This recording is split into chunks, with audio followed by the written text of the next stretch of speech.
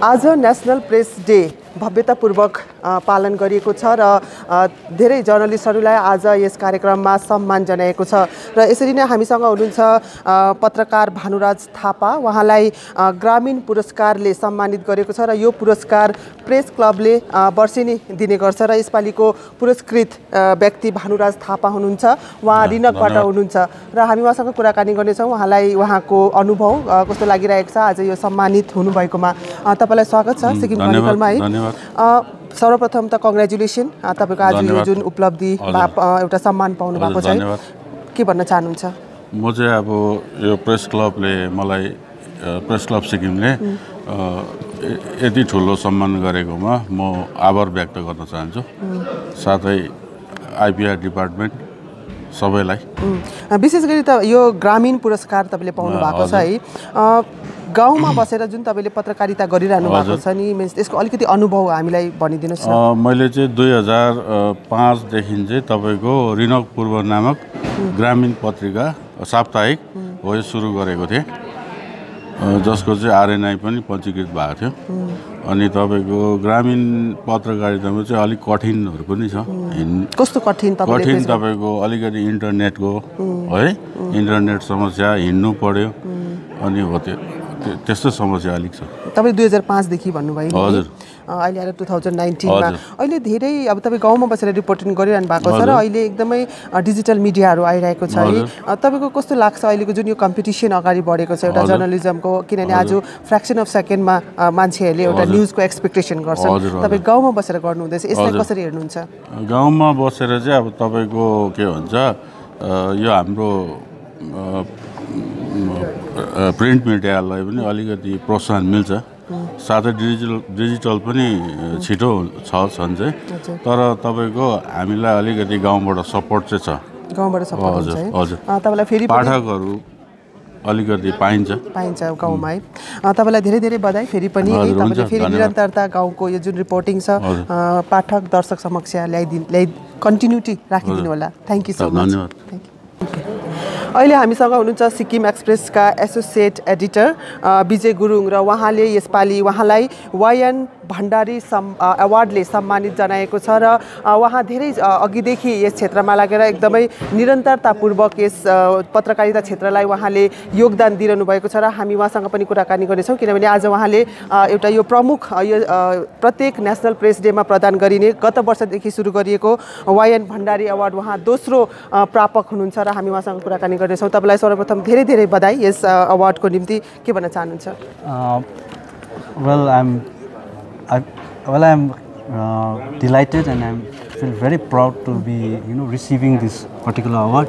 Uh, uh, it's an award that has been granted by the government of Sikkim in consultation with the Press Club of Sikkim. So it's a what do you say uh, endorsement from my own fraternity, And bigger joy for me is that the, this award is in the memory of somebody right? And and and, and is this award is in the memory of a journalist a pioneer journalist of sikkim? And being a journalist to receive an award in the memory of a pioneer journalist i think is the biggest endorsement for me and the that gives me uh, uh, what do you say uh, inner sense, sense of joy and, and, and a sense of achievement. Okay basically है अब अहिले पत्रकारिताको एउटा जुन phase change भइरहेको छ है तपाईँले एउटा विकलीको टाइमदेखि तपाईँले सुरु गर्नुभयो त्यहाँबाट डेली अलिक एक्टिभ हुँदै आज आएर एउटा न्युज पेपर सँगसँगै इलेक्ट्रोनिक मिडिया सँगसँगै डिजिटल मिडिया पनि एउटा भाइब्रेन्ट भइरहेको एउटा सिक्किममा त्यो सिचुएसन छ है। कसरी हेर्नुहुन्छ यसलाई? यो धेरै अहिले यो हालैमा धेरै चर्चाको विषय भइरहेको छ। यो डिजिटल मिडिया सोसियल मिडिया अनि प्रिन्ट मिडियाको र अदर फर्म्स अफ मिडिया पनि धेरै छ। अनि मलाई जहाँसम्म लाग्छ मैले पनि यसो मेरो मेरो सोचाइअनुसार चाहिँ they space for everybody है। The space for all forms of competent media media भन्दा मात्रै जो पायो त्यो मिडिया होइन। तर जो सक्षम छ जो आफ्नो कामपट्टि इमान्दार छ त्यो चाहे एनी फर्म डिजिटल होस् या प्रिन्ट होस् या विकली होस् या म्यागजिन मन्थली म्यागजिन होस् सक्षम कम्पिटेन्ट मिडियाको लागि पाठकहरूको लागि सबै पाठकहरूको लागि पाठकहरूकोमा पुग्ने माध्यम। छ एउटा the space for every everybody सबै हामी we can coexist okay र अल्टिमेट एम त के हो?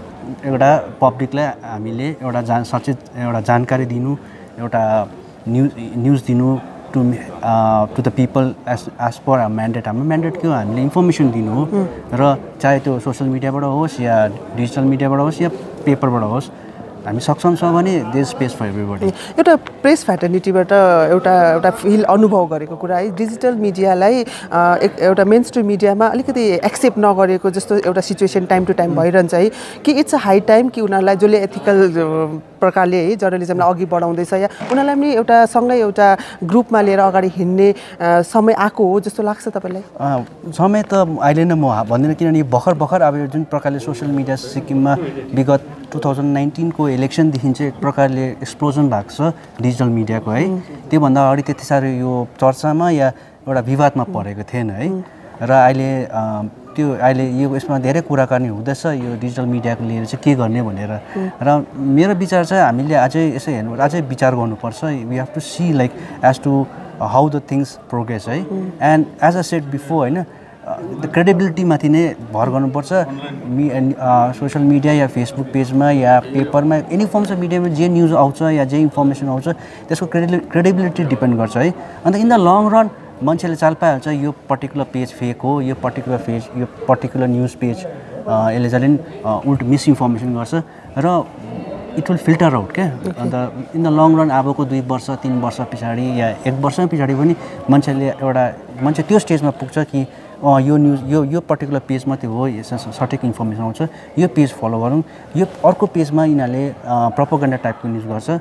अन्त यस यसको चाहिँ हामीले कुरा पत्तै हाल्नु हुँदैन भन्ने चाहिँ हुन्छ। The it's it's depend upon the viewers and followers follow it depends the किनभने अहिले त भ्युवर्सहरूलाई चाहिँ बम्बार्ड हुँदैछ नि। सबै जग्गाबाट एउटा पेजबाट अर्को पेजबाट means say basically same information आएको आएको छ। अन्त म, पि- मान्छेलाई बिम्ब अहिले तिनीहरू एउटा कस्तो हुन्छ एउटा निर्णय लिने पोजिसनमा या एउटा विश्वास गर्ने पोजिसनमा आइपुगेको छैन। र इन कमिङ मन्थ्स या इन कमिङ इयर्स मान्छेहरूले आफै चाल पाइहाल्छ anyway thank you so much र वान सेकेन्ड एकदमै फेरि पनि धेरै धेरै बधाई छ तपाईँलाई. थ्याङ्क यू सहयोगी टाइङ भुटियाको साथमा कविता शर्मा